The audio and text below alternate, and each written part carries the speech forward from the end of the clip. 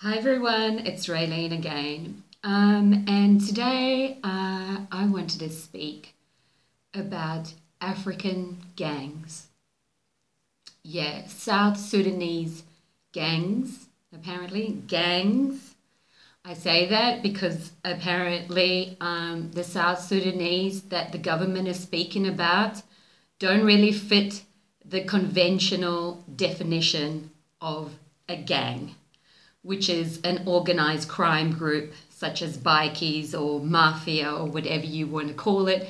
It's basically just a group of um, teenagers or adults that uh, get together through social media. Not to say that any crimes aren't being committed, but um, it seems to me that there is something to be said for the fact that the Victorian state elections are coming up in November.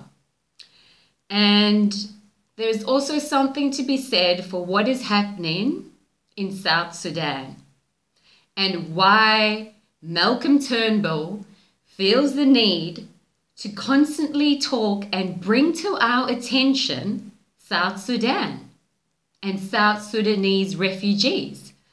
Um, because at the moment, well, not technically, at the moment we know we can see in the news what's happening in South Sudan and the uh, president of South Sudan, Salva Kiir. I, I'm probably pronouncing his name incorrectly, but the president of South Sudan, which is a new country being formed as a split away from Sudan um, in 2011 so, like the world's newest, youngest country. And, um, well, anyway, the president of South Sudan has signed an agreement with the rebels and with his rival, the previous or first uh, vice president um, of, of South Sudan. Um, so it looks like we will finally have some peace in South Sudan and in the build up to their elections um, next year. So, but what I find the most interesting is what has occurred in the build up to that. And how does this involve Australia, you ask? Well, in March of this year, the Australian government, yes, Australian government, represented by our ambassador to Sudan and Egypt. Uh, what is his name? Neil. I just have to look and find his name because I don't even know who the hell he is. I know about that other ambassador, Alexander Downer. Well, it seems, oh, there it is, it's Hawkins. Hawkins, Neil Hawkins. Well, Neil Hawkins is uh, Australia's ambassador to Sudan and Egypt. And he seems to be like he's he's pulling a Alexander Downer for mining companies. Yeah, mining companies. So before we saw that Alexander Downer was like Woodside's bitch, now it seems like Neil Hawkins is Australian mining companies, bitch.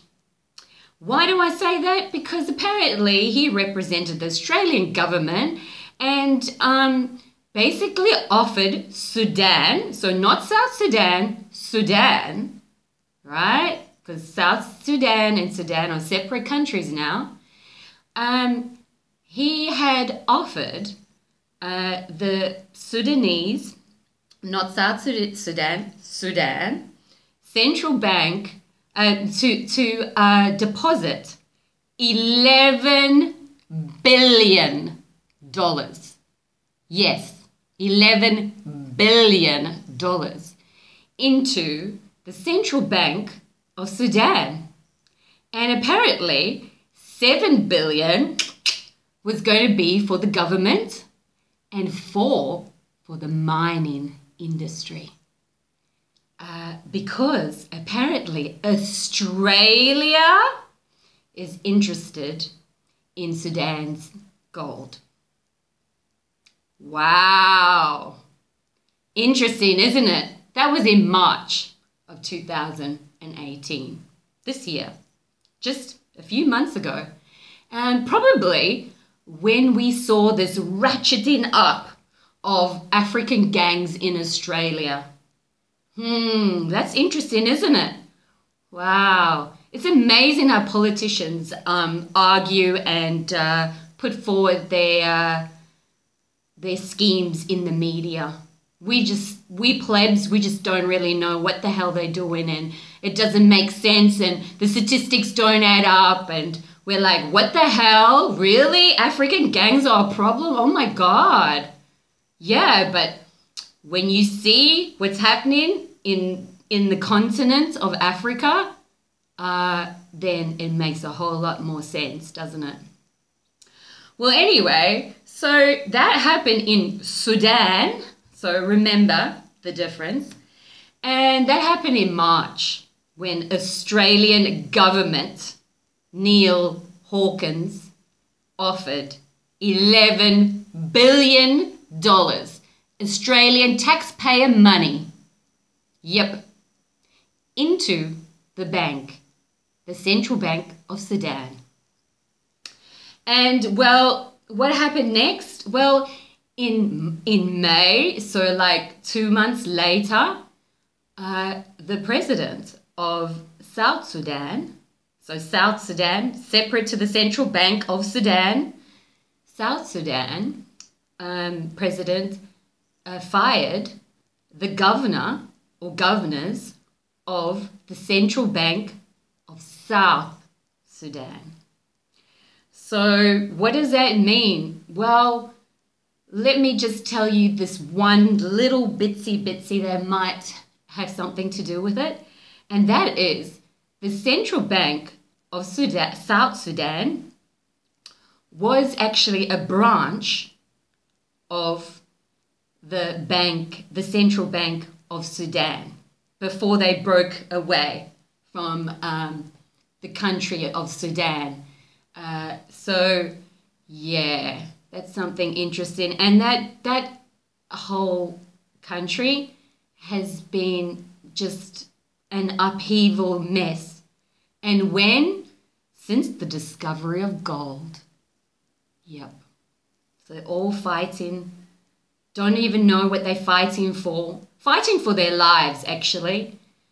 But there's something more to that, and it's about their gold, isn't it? So, yeah. Um, and another thing I wanted to speak about is um, intelligence agencies and um, all this shit, all this bullshit about African gangs and this anti association law.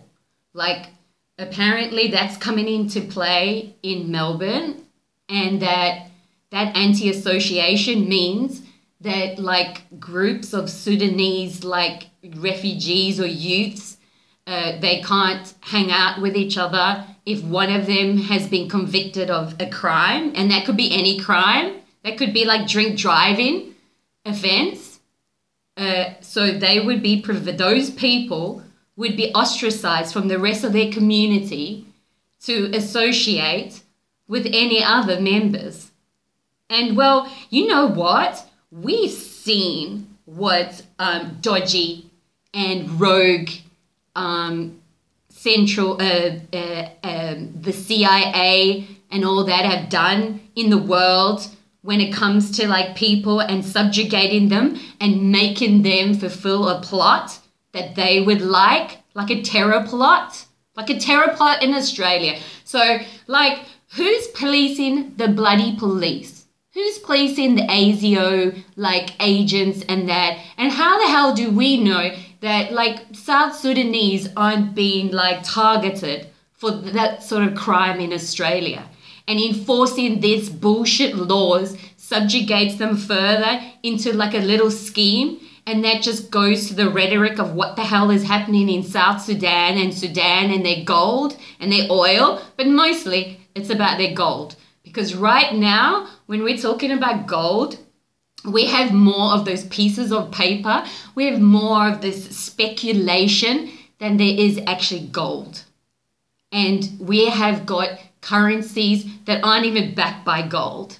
We're, we're moving to, towards worldwide currencies that are backed by commodities, whether they are cryptic or not, or paper, whatever, but we are moving to that. And um, yeah, that's all I have. I just wanted to put it out there. I just wanted to make you think about, you know, history. History repeating itself over and fucking over again. And how intelligence companies can subjugate people. And people where they don't even know where their home is. And when you've got people like Peter Dutton making you feel like a piece of shit if you stem from another country and how you can be subjugated with like the dole and like Centrelink and all this shit and be policed when you're innocent. It like drives people to it's like it, it's like parenting a child.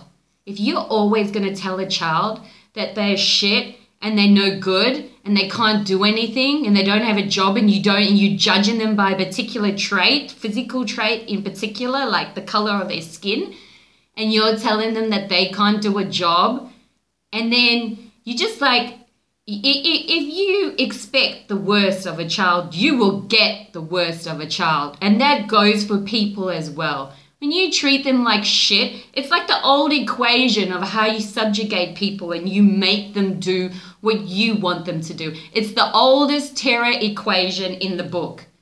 And all you intelligence agencies should fucking know better. So, like, yeah, come at me. I'm like, I'm used to it by now. But anyway, yeah, have a think about that. African gangs, what a load of bullshit. And like, and the Australian public should think, what the fuck is $11 billion of Australia's money going into a bank in Sudan for gold? Yeah. And who the fuck's to benefit from that? Not us, not the Australian taxpayer. So, yeah, think about that. And yeah, subscribe, R squared, and I'll catch you in the next one.